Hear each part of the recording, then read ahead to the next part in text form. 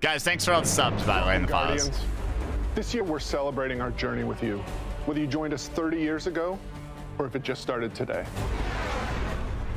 This game is in our blood. The Destiny team is full of Destiny fans. Folks who came here because Destiny was their favorite hobby. Folks who log out from work in the evening and log in to play with their clan. The team we have today is committed to relentlessly upgrading this game that we all love. We aren't happy with just another mission. Instead, we want to push the limit of quality you can expect in an action MMO with uniquely Destiny experiences like Expunge and Facade. The stash. We are committed to delivering the best mission content that you can play in any game with a friend and having the best feeling action game, period.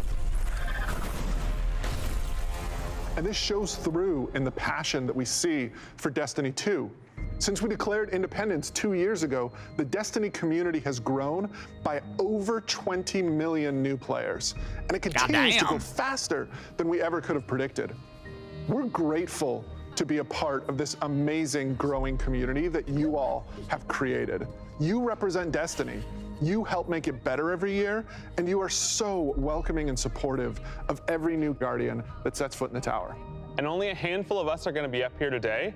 Most of them are in their homes, at their desks, working hard to bring the next part of Destiny to life. It's a huge honor representing such an incredible team and introducing the next chapter of Destiny 2. So, without further ado, this is the Witch Queen. The Witch Queen!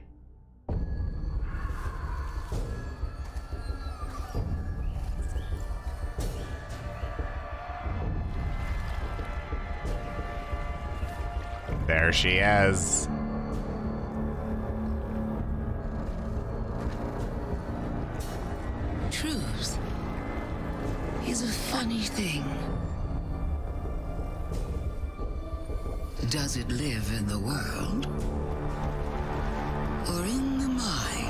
What the fuck?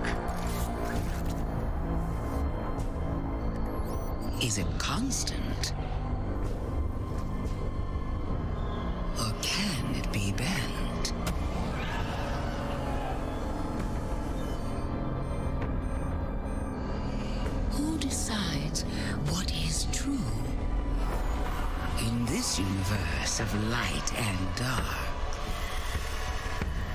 There is no greater power. It's flying starfish! Tell me, little lights. Oh ah, what is shit. your truth now?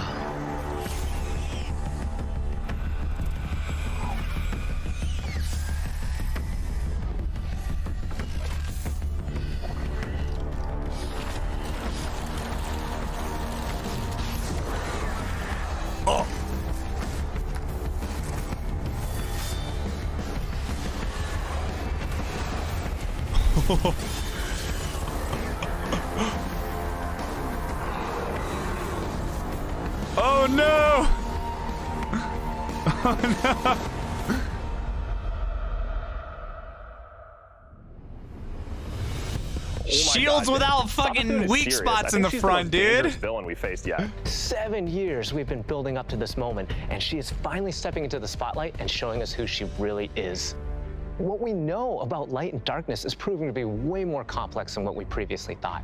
There are so many lies, truths, and revelations that we're going to get to in The Witch Queen and the year leading up to it. I mean, we're paying off these narrative threads that go all the way back to Destiny's origins, and we're supporting it with the best content that Destiny has to offer. Definitely. And we've got a lot of awesome content to show today. Let's start with the most mysterious destination yet. Yeah. Savathun's Throne World.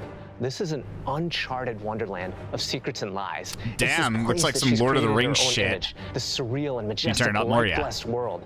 She has this castle that she rules from. It overlooks this dark, swampy underbelly with this lone pyramid ship out there. It's the future world she wanted to create, built atop the darkness that she left behind. And Throne Worlds, they're a deep part of Destiny lore. Powerful entities create these pocket universes, and when we're there, we have to play by their rules. But now, our own light powers are being used against us. I mean, she has this whole army of Hive that she's ascended to the light and brought along with her. Yeah, these things are These sick. are the Hive Guardians, and they are the backbone of her new army. These things are sick, bro. let's show a little. Let's take the first ever look at the Witch Queen gameplay. Oh shit, okay. Dude, the swamp area looked intriguing. Savathun, the Witch Queen. Hive god of cunning and lies. After the death of her brother Oryx, Savathun went into hiding. Not out of fear, of course, but out of strategy.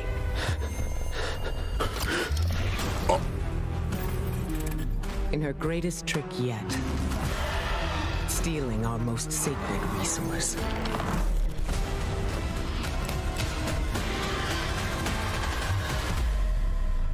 The one thing we thought she could never touch. The light.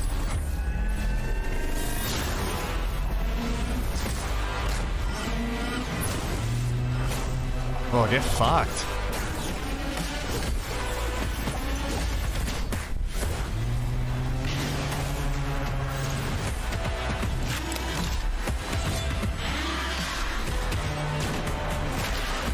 Wait, did that... Wait, did that... What the fuck?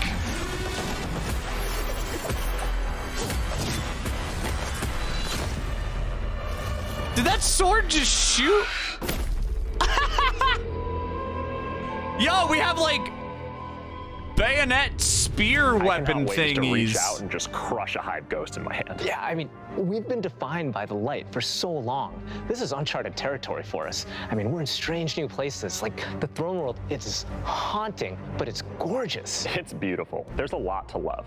There's a few things we saw on the trail that we haven't talked about yet. Savathun and her Lucent Brood. This is the biggest threat Guardians have faced yet, so we need to find new weapons to match their power. The Glaive. I love this thing. Glaive. It's brutal and elegant. It's this new energy weapon with melee abilities, mid-range projectiles, and defensive capabilities. It's our first ever first-person melee weapon, and it is such an awesome tool for the battlefield. Oh shit, bro. The glaive, Blade look at it feels so Just jump in and unleash these brutal melee combos and transition right to an energy blast. it's really powerful and has a lot of utility. So, we've told you about what the glaive can do. Now let's talk about how you're going to get your hands on one. These Oh, weapons shit. don't come out of chests at the end of missions, and you're not going to find one roaming around the throne world. Your first glaive is not going to be found. It's going to be built. Yes, Built. weapon crafting is coming What? to Destiny 2. Get out of here. Now, I don't chasing believe weapons it. has been an integral part of the Destiny Pursuit game since the beginning. And over the years, we've added more deterministic paths to get the rolls that you want on guns. Think things like Umbral I don't believe and it. the raid chest. Weapon crafting unlocks the freedom to choose all that and more. It gives us ultimate control over the guns. Now, this is a combat-focused crafting and progression system. That means the more you use these weapons, the more objectives you complete with them, the more you'll level them up, and the more powerful they grow over time. And at launch, here's the awesome thing. You'll be able to craft all Throne World weapons, new raid weapons, and the seasonal weapons. There's just a ton of stuff to do in this system, and the Witch Queen is just the beginning of weapon crafting. We have plans to add more craftable weapons, both legacy and new, throughout the year. We've seen and we've talked about a lot of really cool features, but let's get right into the meat of it. Let's talk about the Witch Queen campaign.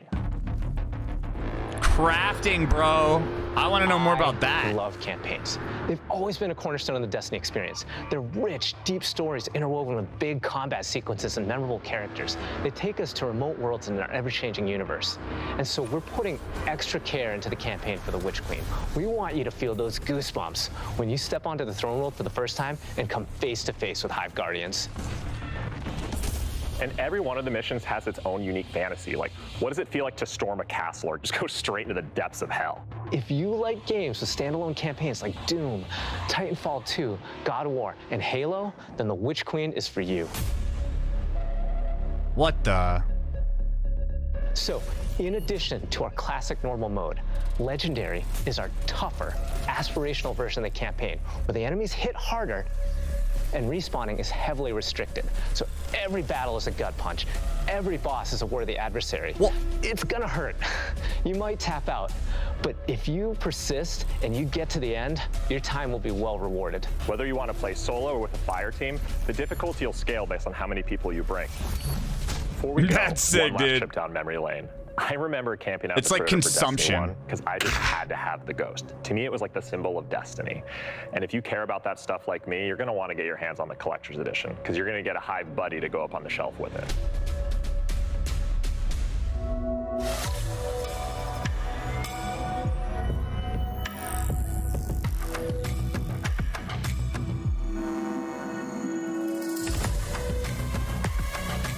It's like some Dark Souls shit, dude.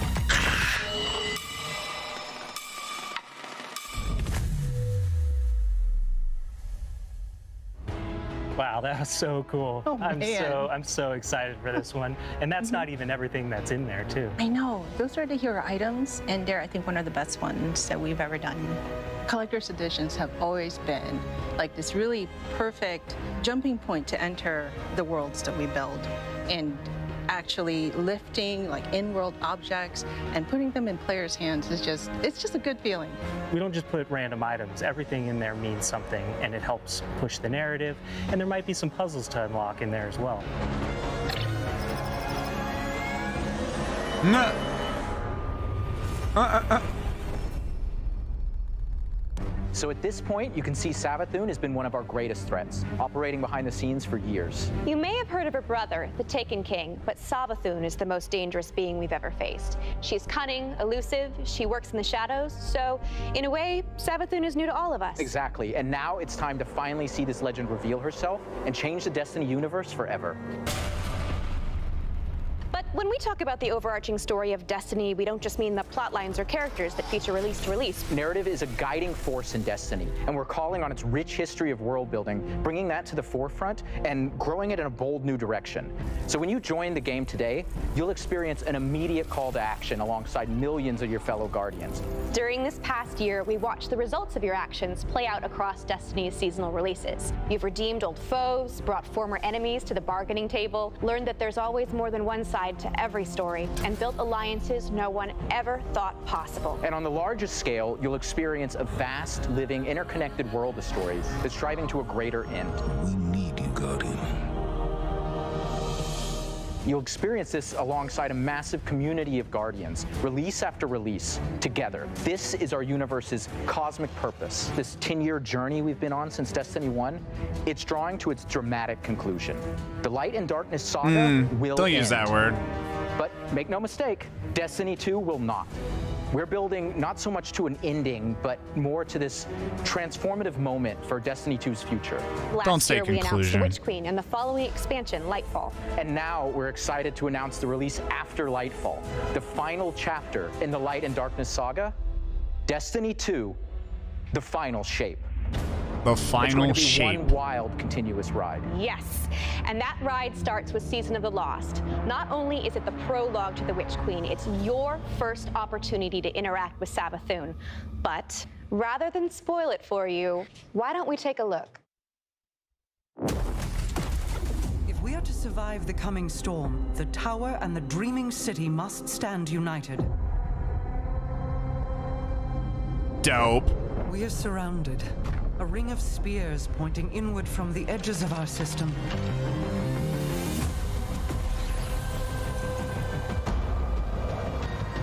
A tale of two queens. No less There she is, than what she baby! ever been. We must uncover whatever secrets she knows with the time that we have. We love Microsoft chat.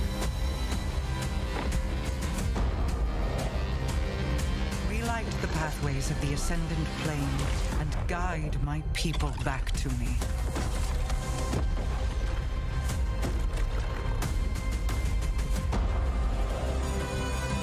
There They always put so much- force at work in this plane, Guardian. Bass in their trailers. I love it. A- wait, Ager's scepter. Wait, what is this? Oh, that is a. Oh, it's a um. What's it called?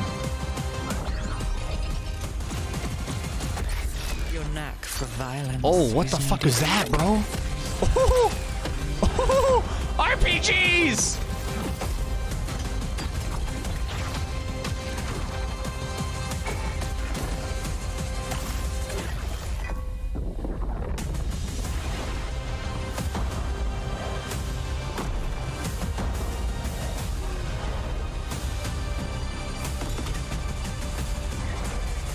Perhaps with them I can save us all.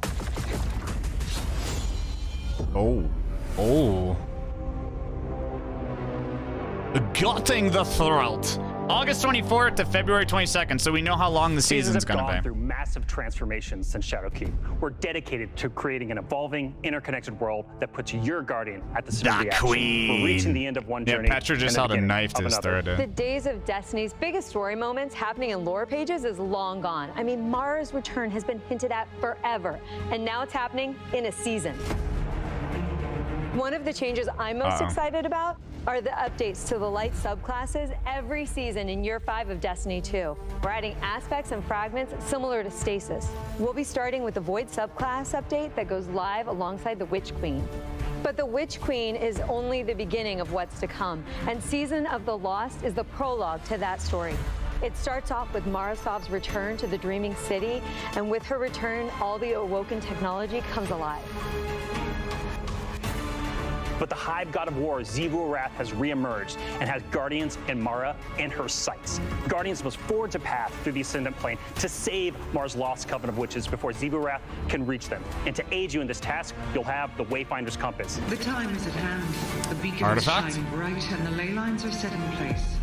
It's an ancient awoken artifact that gives the wielder the power to uncover pathways, secrets, and treasures within the Ascendant Plane. There's a plethora of new weapons coming, including a suite of legendary stasis guns that will stop your enemies cold. Oh, legendary stasis! Let's go, dude! Finally! The armor makes you feel like you're a member of Queen Mara's court. And no season is complete without new exotics. And Ooh. Season of the Lost features one once intended for Uldren. Ooh, go back to that armor, bro. Oh my god, a stasis fucking trace rifle. Let's take a moment to talk about Trials. So Trials of Osiris is the in-game aspirational PvP activity and more popular than ever. Two of the biggest asks from our community have been adding anti-cheat and adding matchmaking. In Season of the Lost, we're doing both. We've partnered with BattlEye to soft launch the anti-cheat software when Trials goes live on September 10th. Also, you'll be able to matchmake with groups of players to form fire teams or solo queue by yourself. And we've remixed how rewards are distributed to give all players the opportunity to earn some of the best weapons and coolest armor in the game. That's I right. did We're not shifting expect away from that. winning matches as a primary way to earn loot, and instead, winning individual rounds and completing matches will allow you to earn some rewards. But Going Flawless hasn't changed. So if you want to flex those PvP skills, the Flawless chest will still be the only place to earn adept trials weapons and unique cosmetics. Oh, Oh, oh! That's All right, so solo next queue trials, bro. begins What the right After fuck? this stream with Season of the Lost. Return to the Dreaming City with Mara Sov and learn the mystic art of wayfinding. I'm so excited crossplay is going live today. And today is your first opportunity to jump into Destiny with friends on any platform from all over the world. That's dope. Playing together. That's dope. Solo queue trials. I did not expect that.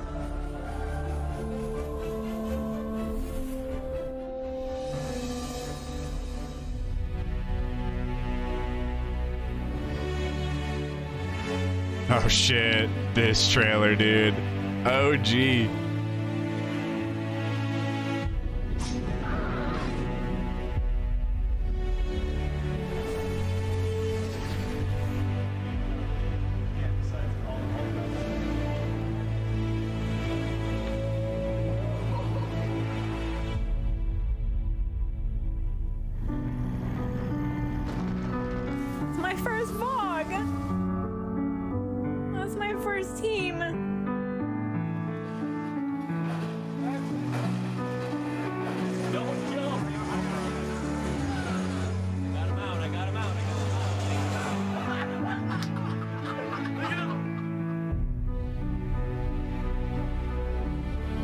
Company that prides itself on taking care of its employees and, and their significant others and their communities and those who are in need, it's pretty devastating as we look at the racism in America. And uh, our intention is to do better and to leave the world in a better place. We want to be a part of that social change. Fuck racism.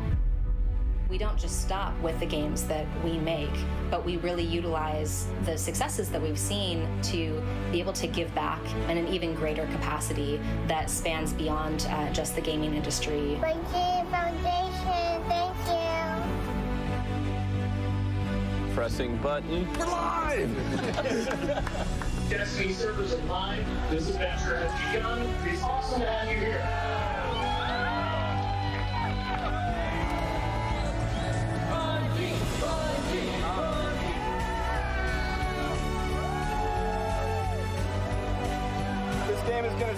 Going destroy my social life, and I can't wait.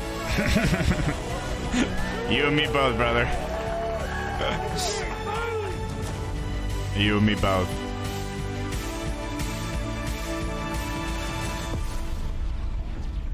All right, Guardian. Time to kick him where it hurts.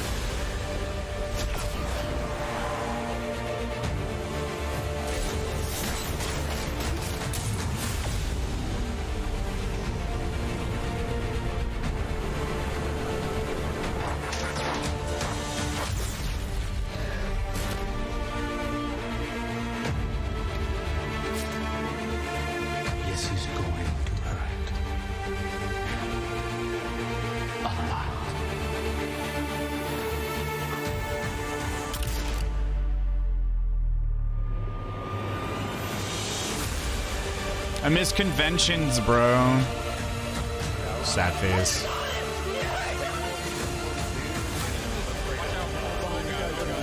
Oh my lord. That's Regina on mod days, dude. This is great. Anyone want a hug? Hugs? No? No hugs. Fucking Cayde, bro. I miss conventions, man. There's a lot of like in-person stuff there. How do you follow that? wow. 30 years. And I, I, I remember when Halo first launched, and uh, my friends and I completed the entire campaign in a single epic play session. And as the credits rolled, I knew that, that Bungie had transformed console gaming forever and that, that I would be a lifelong fan. Yeah, it changed how we played games too. I remember getting together with friends for Halo weekend LAN parties. We had so much fun. And 30 years of Bungie games is something special. It's something worth celebrating together. So we're going to have a party in Destiny 2. Starting this December, we are launching the Bungie 30th Anniversary Celebration in Destiny 2. Free for all players, the 30th Anniversary Celebration will offer a new six-player matchmade activity, secrets to unravel, and rewards that commemorate our long and storied history together. And that's just the beginning. In addition to the free event, players can also purchase the Bungie 30th Anniversary Pack that includes a new treasure-themed three-player dungeon set on the Cosmodrome oh. within the fabled Loot Cave. Oh. Players will plunder its depths to discover an exciting new Thorn-inspired armor set Wait. and fan-favorite Destiny 1 weapons like Eye Was that the Loot and Cave? Thousand Yard Stare. It even has the Claymore sword from Myth. Purchasing the pack unlocks a range of awesome Bungie-themed armor ornaments and cosmetics to collect, including ornament sets inspired by the Bungie 30th Anniversary Celebration and Marathon. But the dungeon holds one more secret. The crown jewel of its weaponry is a Destiny 1 classic. Gjallarhorn is making its long-awaited debut in Destiny 2. We're going to take its iconic status to the next level. Galley has been carefully updated for the Destiny 2 sandbox. So, this December, join your friends and collect exclusive rewards during the Bungie 30th Anniversary Celebration. But the party isn't only happening in Destiny out, bro. 2. We've partnered with Nerf Limited to create a functional dart-firing Gjallarhorn. We'll have more on that soon. What? And that's not all. Here's a look at some of the incredible loot we've made over the years and a sneak peek of what's coming up. Fucking G-Horn, bro. Are you... Oh no, dude. Wow, Lorraine, I can't believe we're celebrating Bungie's 30th anniversary. 30 years. It's incredible. Yeah. I mean, look, think of all the games and products that have come out over these years. Yeah, starting Operation Desert Storm, Pathways into Darkness, Marathon, Myth, Oni, Halo, and Destiny. Seven years of Destiny. It's an amazing journey. So excited. You know, we have a lot of really cool stuff coming up and a lot of other things in the works, of course, uh, as always. But Yeah. I mean, what do we have? We have the Fallen Captain statue, which is incredible. And then we have the helmet, the Celestial Knight. That thing is so cool. Yeah. And uh, my favorite, the Arcadia jump ship. Yeah, I get goosebumps just thinking about that. You know, it really gives me that nostalgia from Destiny 1. And so I think it's a great way that we're going to celebrate not only Bungie's 30 year heritage, but the seven year heritage of Destiny. Yeah. And it definitely gives you the feels.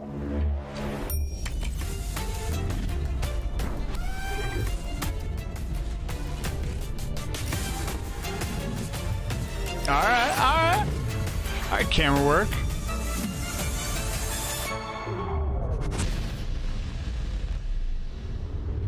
Thank you for being on this journey with us, whether it started this year or 30 years ago. Oh We've my just started talking about the Witch Queen today. You've got our first peek at weapon crafting, our definitively Destiny campaign, the glaive, and a year full of updates to all our light-based subclasses. All of this and more is coming alongside Savathun's long-awaited arrival front and center to the Destiny universe. The Witch Queen marks an acceleration in our story heading towards the conclusion of the Light and Dark saga, and we're so excited for everyone to join us on this epic adventure in The Witch Queen, Lightfall, The Final Shape, and beyond. And the Witch Queen's beyond. going to kick off another amazing year of Destiny with four great seasons packed with all of the narrative, events, and rewards that you've come to expect from us. But there's even more coming next year than just our new Oh, seasons. raid, raid. The deluxe edition of The Witch Queen will also include two brand new dungeons to be released in 2022. And we're also going to be remastering another classic Destiny 1 raid and releasing it free for all players. This means going forward, starting this December with our Crota. 30th anniversary event, there will be a new piece of raid or dungeon content in the game every three months. What?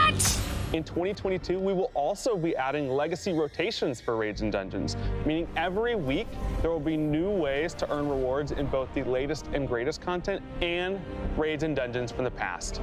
If you love amazing in-game content, we want to prove that no other game offers more quality and more variety than Destiny 2. Wait. We hope that you've Which enjoyed raid, a though? the future of Destiny 2. Witch Queen pre-orders are available wherever you play Destiny. Crossplay is live on all devices, and Season of the Lost kicks off today. See you in game. Which raid, though? I want to know which raid. Which way are you bring him back? They didn't say. They fucking teased me, dude. Truth is a funny thing. Who decides what is true? Dude, the swamp area looks so sick, dude. What is your truth now? I mean, nah, I feel like King's Fall would make the most sense. No? she has ever been.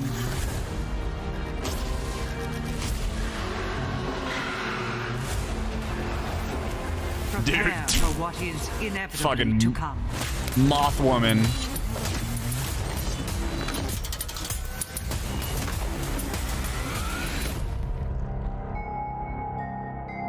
Jesus Christ.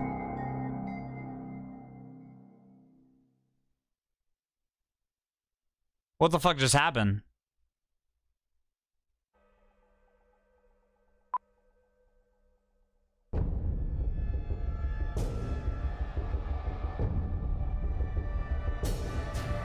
What the fuck just happened?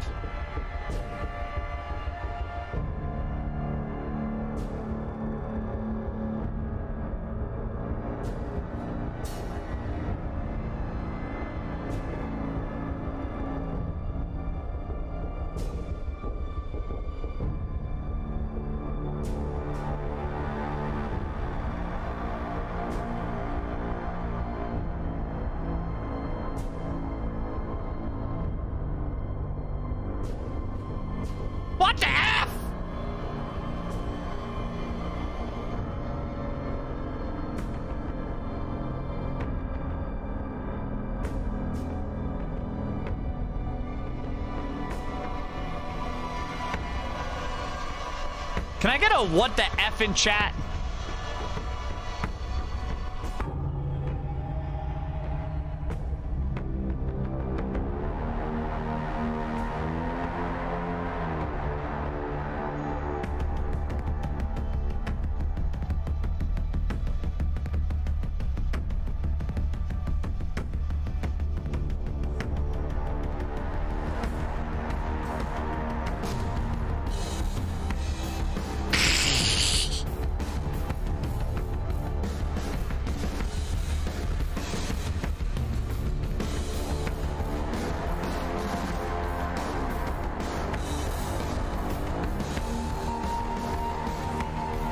Bro, I can't. I can't believe they brought Gjallarhorn back, dude.